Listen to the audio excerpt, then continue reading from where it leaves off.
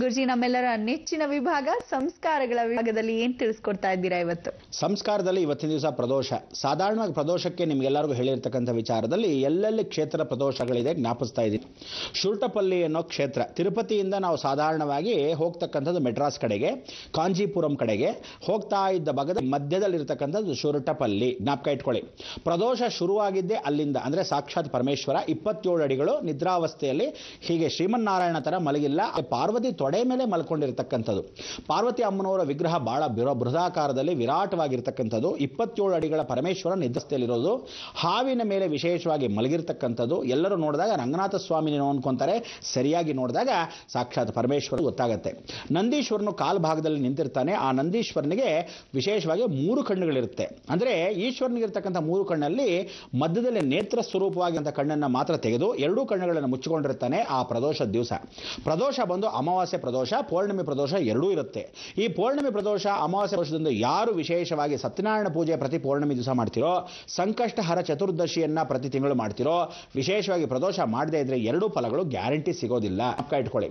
ಯಾವತ್ತು ಪ್ರದೋಷ ಕಾಲ ಅಂದ್ರೆ ಸಾಯಂಕಾಲದಲ್ಲಿ ಮೂರು ಕಾಲಿಂದ ನಾಲ್ಕೂವರೆ, ಮೂರು ಮುಕ್ಕಾಲಿಂದ ಐದು ಕಾಲು, ಈ ಎರಡೂ ಸಮಯದಲ್ಲಿ ಮಧ್ಯಭಾಗದಲ್ಲಿರ್ತಕ್ಕಂಥ ಪ್ರದೋಷ ಸಮಯ ಅಂದ್ರೆ ಕಾಲ ಅಂತ ಕರಿತೀವಿ.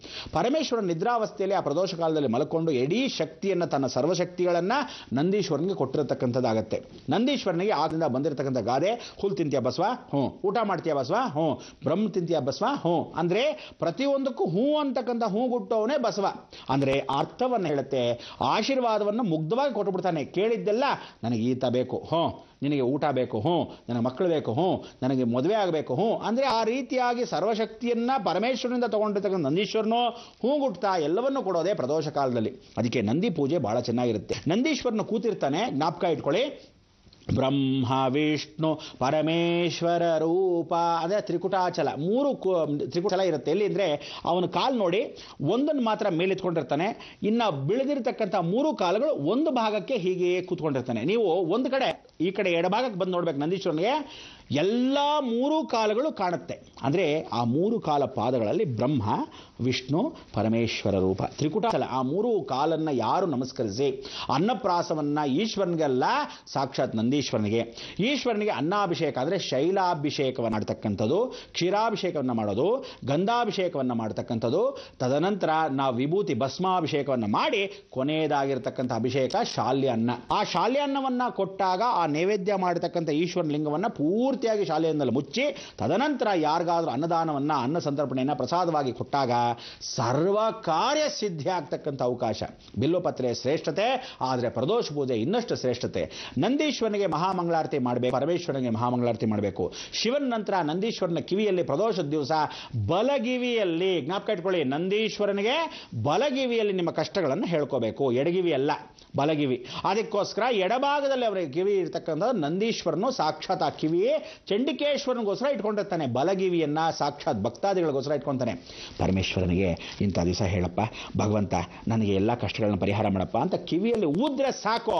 ನಂದೀಶ್ವರ, ನೀನು ಕೇಳಿದ್ದು ನಿಂದು ಅಂತಾನೆ. ಆ ಪ್ರದೋಷದ ದಿವಸ ಪರಮೇಶ್ವರ ಅಲ್ಲಿ ಮಲಗಿದ್ರೂ ಸಹ ವಿಭಿನ್ನವಾದ ರೂಪಗಳನ್ನು ದರ್ಶನ ಮಾಡ್ಬೋದು. ಎಲ್ಲ ದೇವತೆಗಳು ಹುಡ್ಕೊಂಬಂದ್ರಂತೆ. ಎಲ್ಲಿದ್ದಾನೆ ಪರಮೇಶ್ವರ? ಎಲ್ಲಿದ್ದಾನೆ ಪರಮೇಶ್ವರ ಅಂತ ನೋಡ್ತಾ ಇದ್ದಾಗ ಅವನು ನಂದೀಶ್ವರನ ಎರಡು ಕೊಂಬಿನ ಮೇಲೆ ನಾಟ್ಯವಾಡ್ತಾ ಇದ್ದ ಪಾರ್ವತಿ ಪರಮೇಶ್ವರ ಜೊತೆಗೆ. ಆಗ ಪಾರ್ವತಿ ಸಮೇತ ದಾಟ್ಯವಾಡ್ತಾ ಇರೋ ಆ ಶಿರಸ್ಸಿನ ನಂದಿಯ ತಲೆಯ ಮೇಲೆ ನಾವು ಆವಾಗ ಬಗ್ಗಿನೋ ಪರಮಾತ್ಮ, ಇಲ್ಲಿದ್ಯಾ? ಓಹೋ ಅಂತ. ಅದಕ್ಕೆ ಆ ಕಾನ್ಸೆಪ್ಟ್ ಏನು ಹೇಳ್ತಾರೆ? ಎಲ್ಲರೂ ಆ ಕಂಬಲ್ಲಿ ಬಗ್ಗಿ ನೋಡಿದಾಗ ಅವನ ಕೊಂಬು ಮುಖ ಮೂಲವಾಗಿರ್ತಕ್ಕಂಥ ವಿಗ್ರಹದ ದರ್ಶನವನ್ನ, ಈಶ್ವರನ ದರ್ಶನವನ್ನ ಮಾಡಿ.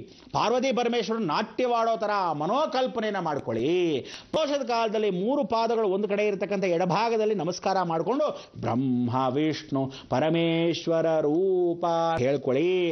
ಹೂ ಅರ್ಚನೆಯನ್ನು ಸಾಕಷ್ಟು ನಂದೀಶ್ವರನಿಗೆ ಅಭಿಷೇಕ ಮಾಡಿ ಪ್ರಾರ್ಥನೆಯನ್ನು ಮಾಡ್ಕೊಳ್ಳಿ. ಮೂರು ಕಾಲಿಂದ ಐದೂವರೆವರೆಗೂ ಆ ಪ್ರದೋಷ ಕಾಲದಲ್ಲಿ ಏನು ಕೇಳ ಸರ್ವವೂ ನಿಂದೆ. ಅದಕ್ಕೋಸ್ಕರ ಪ್ರದೋಷದಲ್ಲಿ ಆ ವಿಶೇಷವಾಗಿ ಸುರಟಪಲ್ಲಿ ಅನ್ನೋ ಕ್ಷೇತ್ರದಲ್ಲಿ ಇವತ್ತು ಕ್ಷೀರಾಭಿಷೇಕ ಮಾಡಿ ಪ್ರಾರ್ಥನೆ ಭೂಲೋಕಕ್ಕೆ ಪ್ರದೋಷ ಪೂಜೆಯನ್ನು ಅಲ್ಲಿ ಪ್ರಾರಂಭಿಸಿದ್ರು. ಇವತ್ತು ಮರಳಸಿದ್ದೇಶ್ವರ ಕ್ಷೇತ್ರ ಕುಪ್ಪೂರಲ್ಲಿ ಕೂಡ ಪ್ರದೋಷ ಪೂಜೆ ಮಾಡ್ತಾರೆ. ಸಂಪೂರ್ಣ ವರಮಹಾಲಕ್ಷ್ಮಿ ಮಹಾಸಂಸ್ಥಾನದಲ್ಲಿ ಕೂಡ ಅಮಾವಾಸ್ಯೆ ಪೌರ್ಣಿಮೆಗೆ ಪ್ರ- ಪೂಜೆಗಳಿದೆ. ಖಂಡಿತವಾಗ್ಲೂ ಬರೋದು. ಅದಾದ ಮೇಲೆ ವಿಶೇಷವಾಗಿ ಪ್ರದೋಷ ಕಾಲದಲ್ಲಿ ಎಲ್ಲರೂ ಈಶ್ವರನ ದೇವಸ್ಥಾನಗಳಲ್ಲಿ ನಂದೀಶ್ವರನ ಪೂಜೆ ಮಾಡಬೇಕು ಅನ್ನೋದೇ ಶಾಸನ ರೂಲ್ಸ್ ಅಂಡ್ ರೆಗ್ಯುಲೇಷನ್ ದೇವಸ್ಥಾನಗಳಲ್ಲಿ ಬೀಗ ಹಾಕಿಟ್ಟಿರ್ತಾರೆ. ಪ್ರದೋಷ ಕಾಲದಲ್ಲಿ ನಂದಿನ ಕೆರೆ ಮಾಡಲ್ಲ.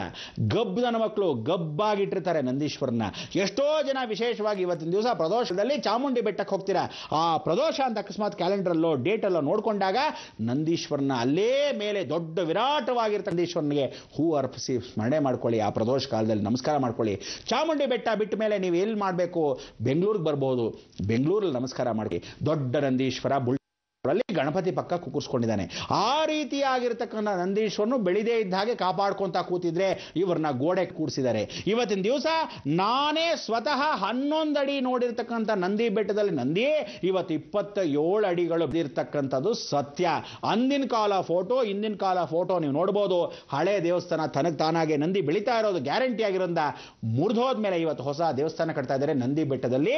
ಇವತ್ತಿನ ದಿವಸ ಚಿಕ್ಕಬಳ್ಳಾಪುರ ಡಿಸ್ಟಿಕ್ನಲ್ಲಿ ಎಷ್ಟು ಚೆನ್ನಾಗಿರಿ. ಬೇಲೂರು ಹಳೆಬೇಡಲ್ಲಿ ತಾವೆಲ್ಲ ಹೋಗಬೇಕಾದ್ರೆ ಶ್ರವಣಬೆಳಗೊಳ ಹತ್ರ ಹೋಗ್ತಾ ಇದ್ದಾಗ ಬೇಲೂರು ಹಳೆಬೇಡ ಹತ್ರ ದೊಡ್ಡ ನಂದಿ, ಚಿಕ್ಕ ನಂದಿ ಅಂತ ಎರಡು ನಂದಿಗಳಿದೆ. ಆ ನಂದೀಶ್ವರ ನಮಸ್ಕಾರ ಮಾಡಿಕೊಂಡ್ರೆ ಏಳನೇ ನಂದಿ, ಎಂಟನೇ ನಂದಿ ಆ ದೊಡ್ಡ ವಿಶೇಷವಾಗಿರ್ತಕ್ಕಂಥದ್ದು. ರಾಮೇಶ್ವರದಲ್ಲಿ ಶಂಕು ಪುಡಿಯಲ್ಲೇ ಮಾಡಿರ್ತಕ್ಕಂಥ ನಂದಿನಿಗೆ ಎಷ್ಟು ವಿಶೇಷವಾದ ಪೂಜೆ ಪುನಸ್ಕಾರವನ್ನು ಮಾಡ್ತಾರೆ. ಹೀಗೆ ಪ್ರದೋಷ ಕಾಲದಲ್ಲಿ ಎಲ್ಲ ನಂದಿಗಳಿಗೂ ಎಲ್ಲ ಕ್ಷೇತ್ರದಲ್ಲೂ ವಿಶೇಷವಾದ ಪೂಜೆ ಸಲ್ಲೋದು ಪ್ರದೋಷಕ್ಕೆ. ಅಮಾವಾಸ್ಯೆಗೂ ಒಂದು ಪ್ರದೋಷ ಬರುತ್ತೆ, ಪೌರ್ಣಮಿಗೆ ಒಂದು ಪ್ರದೋಷ ಬರುತ್ತೆ. ನೀವು, ನಾವು ಎಲ್ಲ ಏನು ಮಾಡಬೇಕು? ಇವತ್ತಿನ ದಿವಸ ಸಾಯಂಕಾಲ ಮನೆಯಲ್ಲೇ ಪ್ರದೋಷ ಪೂಜೆಯನ್ನು ಆಚರಿಸಿ, ಯದ್ಭಾವಂ ತದ್ಭವತಿ ಶಾಲೆಯನ್ನು ಮನೆಯಲ್ಲಿ ನೈವೇದ್ಯ ಮಾಡಿಕೊಂಡು ನಂದಿಯ ಪುಟ್ಟ ವಿಗ್ರಹಕ್ಕೆ ಇವತ್ತು ನಾಳೆ ನಾಡಿದ್ದು ಅಂತ ಪ್ರತಿ ಪ್ರದೋಷಕ್ಕೆ, ಪ್ರತಿ ತಿಂಗಳಲ್ಲಿ ಎರಡೆರಡು ದಿವಸಗಳ ಕಾಲದಲ್ಲಿ, ಅಂದರೆ ಅಮಾವಾಸ್ಯೆ ಪ್ರದೋಷ, ಪೌರ್ಣಿಮೆ ಪ್ರದೋಷಕ್ಕೆ ಬಿಲುಪತ್ರೆ ಹಾಕಿ ನಮಸ್ಕಾರ ಮಾಡಿ ನಿಮ್ಮ ಕಷ್ಟಗಳನ್ನು ಬಲಗಿವಿಯಲ್ಲಿ ಊ- ಕೇಳಿಕೊಂಡ್ರೆ ಪರಮೇಶ್ವರ ಏನಂತಾನೆ? ಅಸ್ತು ಅಂತಾನೆ. ನಾವು ಈ ಬ್ರಹ್ಮಾಂಡ ಲೋಕದಲ್ಲಿ ಇವತ್ತು ಸಮಯಕ್ಕೆ ನಾವು ಅಸ್ತು ಅಂತ ಹೇಳಿ, ನಿಮ್ಮ ಎಲ್ಲರ ಕಷ್ಟಗಳು ದೂರವಾಗಲಿ ಅಂತ ಹೇಳಿ, ಆ ಶ್ರೀಕಂಠೇಶ್ವರ ನಂಜನಗೂಡು ನಂಜುಂಡೇಶ್ವರನ ಸ್ಮರಣೆ ಮಾಡಿಕೊಂಡು ಮುಡಿ ಉತ್ಸವಲ್ಲಿ ಹಕೀಂ ನಂಜುನ ಅಂತ ಒಂದು ನಾಮಕರಣ ಮುಸಲ್ಮಾನರ ಪ್ರಕಾರವಾಗಿ ಟಿಪ್ಪು ಸುಲ್ತಾನರ ಕಾಲದಲ್ಲಿ ಬಂದಿರತಕ್ಕಂಥ ಚಾಮರಾಜನಗರ ಡಿಸ್ಟಿಕ್ಟಲ್ಲಿ ಇರ್ತಕ್ಕಂಥ ಆ ಪರಶುರಾಮ ಕ್ಷೇತ್ರದ ನಂದೀಶ್ವರನಿಗೆ ನಮಸ್ಕಾರ ಮಾಡ್ತಾ, ನೀವು ನಾವು ಏನು ಹೇಳಬೇಕು? ಲೋಕ ಸಮಸ್ತ ಸುಖಿನೋ ಭವಂತು. ಸನ್ಮಂಗಳ ಭವಂತು.